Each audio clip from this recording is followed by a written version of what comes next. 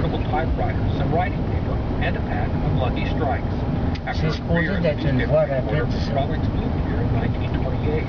She began writing stories drawn from the people she met who lived here in Cross Creek in communities out in the Big Scrub. If you drive 20 miles north of Cross Creek, you'll find Rawlings' manuscript and notes for the yearling in Gainesville at the Rawlings Archive. On rentre dans le tunnel d'une façon ou d'une autre va être obligé de le traverser. Là, ça me, ça me fourre en maudit, ça, là. J'ai supposé d'avoir euh, suivi l'affaire.